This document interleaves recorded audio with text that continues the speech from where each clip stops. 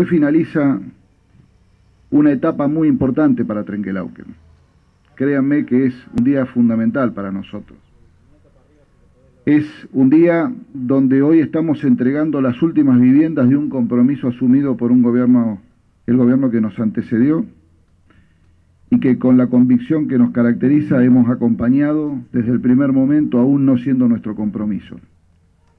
Convencidos de que atrás de ese compromiso hay gente, gente que necesita un hogar, que necesita tener una ilusión y consolidar su familia. Acá no hay mezquindades políticas de ningún tipo. Es un día importante también porque llegar a esta etapa significó un camino durísimo, durísimo. Quiero hacer simplemente, no voy a hacer un recordatorio de esto, pero esto era una, una ilusión hace tres años atrás. Había algunas aperturas de calles, algunas obras de infraestructura básica, pero había que hacer todo lo que había comprometido. Y se hizo con dificultades, con mucho sacrificio de mucha gente, con muchísima inversión de recursos económicos que están enterrados. Hay más de 60 millones de pesos enterrados en caños en esta ampliación urbana y estas casas no podrían ser entregadas si no se hubiera invertido esa cantidad de millones de pesos que nadie ve.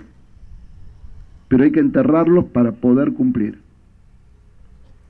Y lo que fue un sueño hoy es una realidad. Y hoy cerramos esa primera etapa.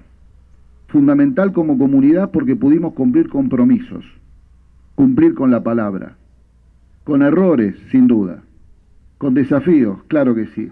No nos olvidemos que el año 2016 2007 no paró de llover muchos días y no se puede trabajar ni en obra de infraestructura ni haciendo casa cuando llueve. Todo eso ya pasó.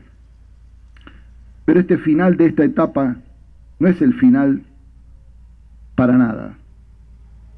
Es el final para comenzar nuevamente con otros proyectos. Todo este movimiento que ustedes ven hoy, acá atrás, no es una puesta en escena no es un Hollywood. Acá se sigue trabajando porque se van a seguir haciendo casas. Y las casas que ustedes ven en construcción atrás de estas terminadas, ni siquiera tienen dueño hoy. Ni siquiera hemos llamado a licitación para estas casas, para completar esta manzana y la manzana que está a continuación. Vamos más rápido que la gente porque todavía no hicimos el llamado a licitación. ¿Y por qué?